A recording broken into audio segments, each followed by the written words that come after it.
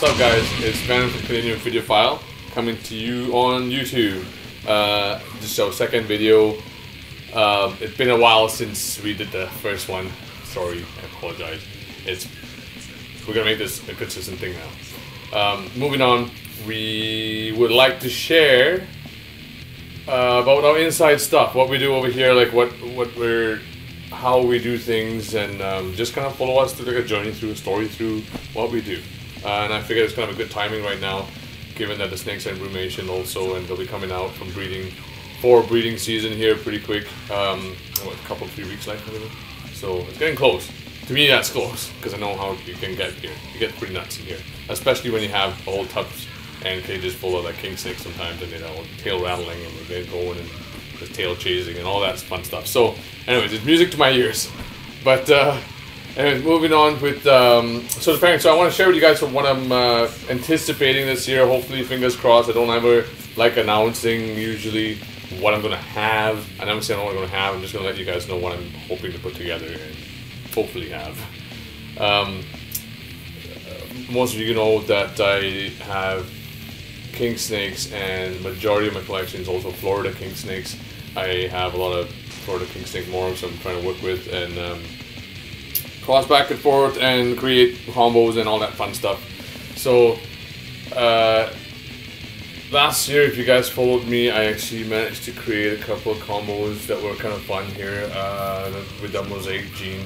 I'm going to be doing some of that again this year and hopefully maybe produce more of the white-sided mosaics and the hypo mosaics maybe and whatever the ultra mosaic was that or weird panelist mosaic is. It'll be nice to see something like that and maybe make it available to you guys too.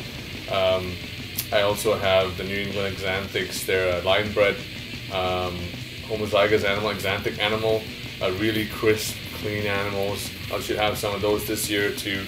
Um, there's a couple of cool combos I'm hoping to put together to create some hets that um, I'm looking to make available this year to you guys because last couple of years I've of course been trying to be putting my own combinations together, holding back my own holdbacks and stuff like that for a while. But this year we're going to be at this in the forefront. I'm going to be making a couple pairings in here, and we will both be having a het. So let's work on this together and let's create some combinations together. It's fun. It's it's totally fun. It's because it's fun right now, especially with Florida King Snake Morphs, because even in the U.S. where they're the, at the front of uh, the the morph thing with Florida's, um, they they're still guessing what this is and how does this work and how does genes in with Florida's now that we're still trying to nail down how it actually is inherited. So, and uh, and there's lots of fun stuff like that that's happening right now. So like you know being being on the front, being on this side um, with me through this process there is going to be exciting for all of us. So. anyways, more of that stuff along the way. I'm going to be talking lots about Florida king snakes. Unfortunately, sorry. I love them. well, I can't help it. But uh, so we'll have a lot of that stuff this year. Um, hit me up if you have any questions about any of the morphs. I'll be doing those morph profiles again. Um, when especially when the adults come out too, then you can see how the adult snakes actually look like uh, instead of just showing some of the grow ups I have. Um, moving on from Florida king snakes, I also have a few other king snakes I'm excited for this year. My speckled kings for the first time. I'm going to use my female um, that I've had for a few years, but I've never had success in finding a male soon enough. And I finally got a male, and then a, a pair I brought up from the U.S. and I raised the male up, and now he's ready. Hopefully, he's going to be up to the job. Um, also, because uh, speckled king snake females can tend to be very ophiophagous with their mates, also. So, fingers crossed uh, on those guys. I love them. They're like the, the diamond pythons of the southeastern United States. That's, I, I just love them. Um, I also have uh, should have some Thayeri. Hopefully, I got a milk snake phase male and a, and a uh, orange Leonis phase, I guess you'd call it. Um, pairing this year, so hopefully we'll have a little bit of variety in there. Uh, last year that female didn't go. I don't think my brumation was um, up to snuff for what she needed. Uh, this year I went a little bit colder and tried a couple of little, little different things. Um, and hopefully we'll nail it this time. We should also have uh, Kings this year. I got a pair, of, pair of Kings I'm going to put together this year. Uh, I've got Mexican Monk Snakes I'm going to put together this year.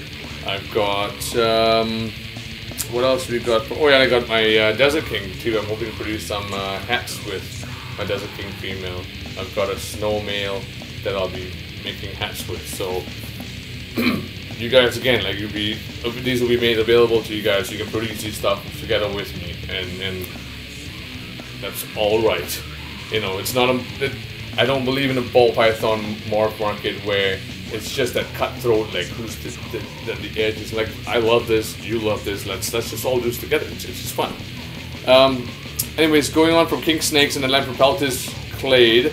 Um, we've got the rat snakes here now. We're talking like the North American rat snakes. I've got my Hypo Everglades that I've been excited about. I've been raising them up. A really good gift from a really good friend of mine from Florida, Scott McFarland. McFarland. Sorry, man. Messed your name up. But uh, anyways, I hope hoping to see you soon this summer here. We might actually meet up actually for the first time there, but he's been a huge, you know, influence in, in what I do too. But anyways, he, he gave me these things a, a, few years ago, and I've raised them up now, and, and, and I'm, I'm, excited to actually put them together for the first time. So, Hypo Everglades rat snakes, uh, stunning animals. It just takes the Everglades rat snake and it just kind of makes it pop more. And, I just love these animals because the, the temperaments were really good, uh, even to start, even as adults. They, they, they coil and, and all that stuff, but it, you pick them up, I've never been bit by one of them yet. Uh, phenomenal feeders and everything. So good genetics in there. Really good genetics from Scott, man. But um, and then I also have um, I'll have my het scaleless pair I'll be putting together also and hopefully producing some scaleless babies uh, this year again. Uh, last year produced one. Um, I'm really not really keen on producing that much scaleless stuff. I know you guys like scaleless stuff. I like the wild type look of uh, actually having scales. Um, it's not too much to ask in this snake, I think. But in any case, it's still again I, I I'm not opposed to having hets too, and you know, and I, and I love the adults, so I get to enjoy the adults as, as what they are, as wild types. I get to produce scale stuff so that you guys get to have some scale stuff. So um, there's that, and then I also have moving on to like the Asian stuff. I'm excited about my Japanese rat snakes. I'm pairing for the first time this year. Um, phenomenal animals. I, I can't seem to go on enough about them sometimes. Like, and, and the more I have them, the more I learn about them. It just blows me away. Uh, that was kind of a short story that almost never happened because uh, when I first got them, they were actually part of a trade, and, it's just coming hawing about actually if I was going to do anything with them. After keeping them a little while and after seeing the temperaments, behaviors, and how they are, the body morphology, and their habits, habits and stuff, reminded me of the North American rat snakes and then the Everglades rat snakes, especially in particular, and especially as it grew and the color change. Anyone who keeps um, Japanese rat snakes know that the color change as they grow and into the adulthood is just brilliant. Whether you have the blue Kunashir phase, or I don't know if you pronounce it that way or not, but uh, the blue phase or the regular green emerald phase, um, still brilliant, phenomenal looking animals. Um, very, very underrated animals. Um, interestingly, also one of the most active animals in my brumation chamber, in my brumation room, because they're even at 45 degrees Fahrenheit, they're tongue flicking like they're just ready to go right now. It like, didn't slow them at all. Uh, moving on from those guys, I also have my Taiwans. I also have my Taiwans again this year. Um, female produced last year, and she's she's grown in the half a year that she didn't since she had her eggs to eight feet. She was a six foot female the beginning the same time last year, and she's coming out of brumation now, and she's an eight foot female. It's phenomenal female. I got her a long time ago from my buddy Chris Stone out east there. Shout out to you, brother. Uh, and um, just good genetics, beautiful animal. Stoked to produce babies from her again this year. So that's pretty much um, what I'd like to disclose so far. I still gotta keep a few secrets in there too for you guys to keep it interesting. But uh, we'll, we'll, we'll do this again. Uh, see you guys next week.